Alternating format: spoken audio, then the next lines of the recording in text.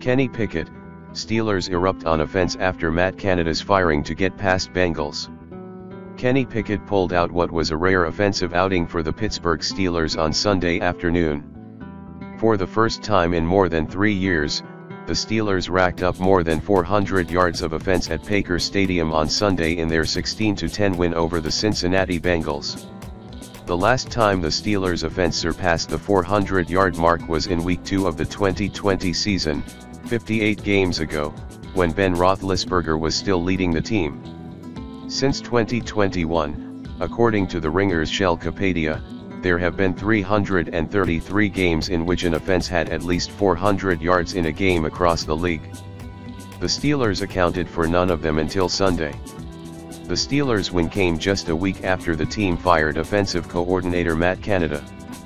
Before Sunday's game, the Steelers were in the bottom five in the league in total yards per game, 280.1, and points per game, 16.6, so far this season, and they were second worst in passing yards with just 170 per contest. Pickett had struggled, too.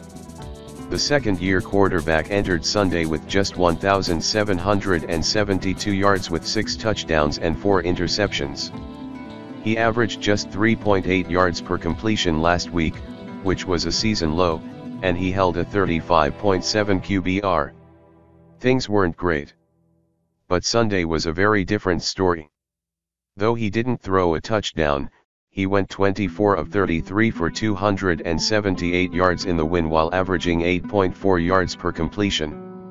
He hit tight end Pat Freiermuth 9 times for 120 receiving yards, and both Diontae Johnson and George Pickens had at least 50 receiving yards each. As a team, the Steelers had 421 yards which is nearly double what the Bengals put up. The Steelers' lone touchdown came in the third quarter on a 5-yard run from Najee Harris, who had 99 yards on 15 carries. The touchdown capped a 14-play, 79-yard drive and put the Steelers up 10-7 at halftime. The Steelers then hit a pair of field goals, and held Cincinnati to just one of its own in the second half, to grab the six-point win. While Pickett and the Steelers' offense finally had things rolling, the Bengals are also struggling in their own right. Cincinnati quarterback Joe Burrow is out for the season with a wrist injury, and the Bengals boast one of the worst defenses in the league when it comes to allowing big plays and efficient plays. They've allowed the third most yards per game, and had only generated 35 tackles for no gain or a loss which is last in the NFL and 7 fewer than the next closest team as of last week.